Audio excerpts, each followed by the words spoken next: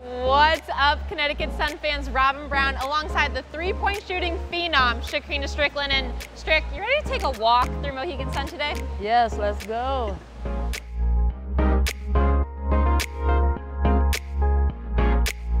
So Strick, game day drip, Connecticut Sun dropped it this year.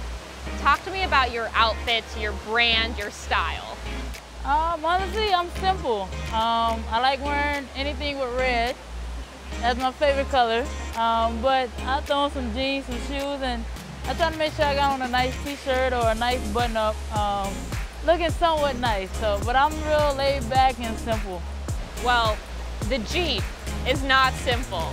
It's red. Talk to me about how you customized your car. So I actually got it in 2015. Uh, my first vehicle I bought. So honestly, it's a place in Dallas. I got it in Dallas, Texas.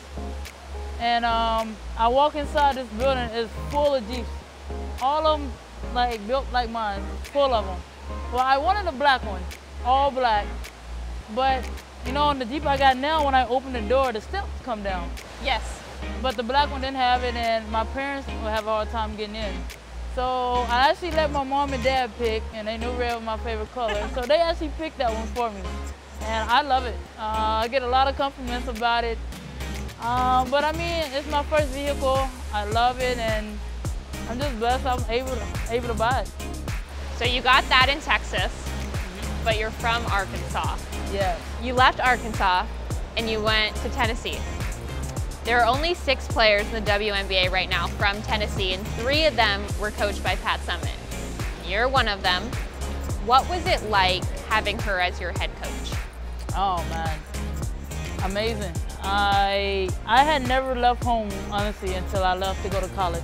Wow. And um, everyone know I'm very close to my family, and it was a big decision. Like, you know, do I stay home in Arkansas or go play for one of the best coaches in the world? You know, and the, when I really met her, it it felt like I had another mother. Just like my mom, I knew she was gonna be on me if things I did wrong, even on and off the court. And oh man, I learned so much from her though. Um, the work ethic, the leadership, just so much. She she stayed on me a lot too. Because um, she knows I was so laid back, so she was always yelling at me, Strick, you gotta be more vocal, you gotta be more involved. So um, she pushed me a lot, and rest in peace to her. Uh, still to this day, I miss her and think about her. Home away from home? Yes, definitely. Well, that's a walk through Mohegan Sun with Shekinna Stricklen. Thank you.